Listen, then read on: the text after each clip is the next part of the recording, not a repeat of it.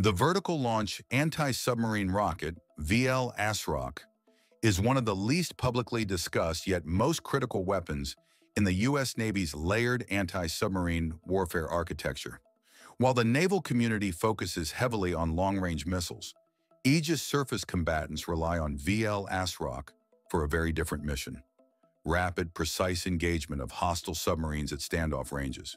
As submarines become quieter, harder to detect, and armed with long-range anti-ship missiles, the ability to project an immediate anti-submarine warfare response at distance has become essential.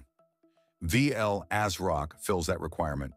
It is a vertical-launched, rocket-delivered lightweight torpedo designed to strike underwater threats that would otherwise remain out of reach for shipborne torpedoes and too close for aircraft intervention.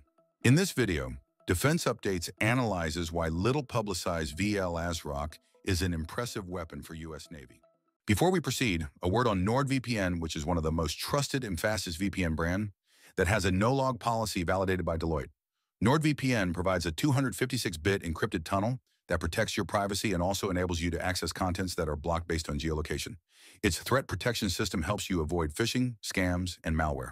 NordVPN application is available for all the major platforms as well as browsers. Get an exclusive NordVPN deal with massive saving by going to nordvpn.com/defense or clicking the link in the description. It's risk-free with Nord's 30-day money-back guarantee.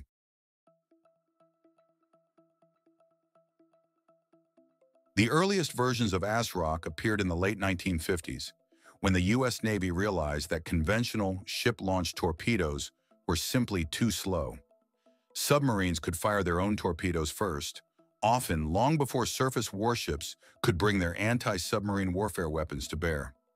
Early ASROC variants were rail-launched, required deck-mounted launchers, and lacked the flexibility to integrate with modern vertical launch systems. By the late 1980s and 1990s, the U.S. Navy's transition to the Mark 41 Vertical Launch System, VLS, required a new ASROC that could be fired from below deck, function within the Aegis combat system architecture, and deliver modern torpedoes with greater reliability. This led to VL ASROC, RUM 139, first entering service in the early 2000s and now deployed on all U.S. Navy cruisers and destroyers. It has undergone periodic upgrades, incorporating improved guidance, updated propulsion, and compatibility with newer torpedo variants, such as the Mark 54.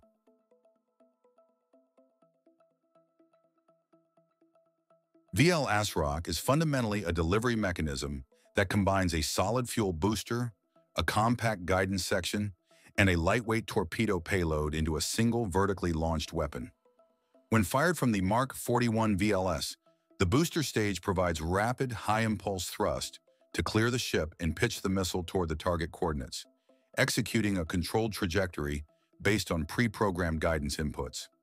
The guidance and flight control system relies on inertial navigation aligned with the ship's fire control solution from the Aegis combat system, allowing the rocket to fly a ballistic cruise hybrid path without needing terminal homing or mid-flight target search.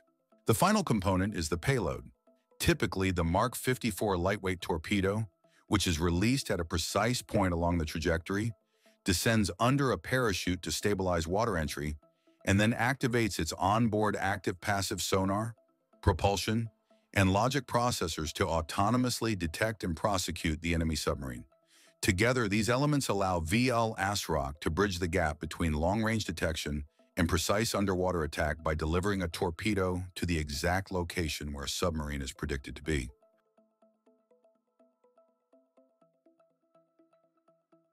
VL ASROC is optimized to deliver fast, precise anti-submarine effects across a broad engagement zone, providing surface combatants with a reach far beyond traditional ship-launched torpedoes. Its effective range is around 22 kilometers, 13.5 miles depending on launch conditions, allows a vessel to strike submarines detected at standoff distances where the ship itself remains outside torpedo range. A VL ASROC engagement begins with the ship's sonar suite or external sensors such as helicopters, maritime patrol aircraft, or allied ships, detecting and localizing a hostile submarine. Once fire control computes the target's position, depth, and predicted movement, the ship's combat management system assigns one or more Mark 41 VLS cells for launch. When fired, the missile erupts vertically from the launcher, clears the ship, and rapidly pitches toward the designated flight path using inertial guidance. The solid fuel booster propels it at high subsonic speeds toward the target location, while the guidance system continuously compensates for wind, drift, and ship motion. At a precise point calculated to maximize torpedo acquisition probability, the missile ejects a parachute-retarded canister containing the Mark 54 torpedo. The torpedo then separates, enters the water, and immediately transitions into its search mode, using active and passive acoustic sensors to sweep for the submarine within a predefined search pattern. Once it detects the target, the homing algorithms take over and guide the torpedo into the terminal attack phase, ensuring a high probability of kill even against maneuvering or countermeasure employing submarines. The Mark 54 torpedo is capable of engaging targets at depths greater than 600 meters and ranges up to 9 kilometers, 5.6 miles. This seamless chain from detection to missile delivery to torpedo homing allows VL ASROC to rapidly convert raw contact data into a precise underwater strike that compresses an adversary's time to react.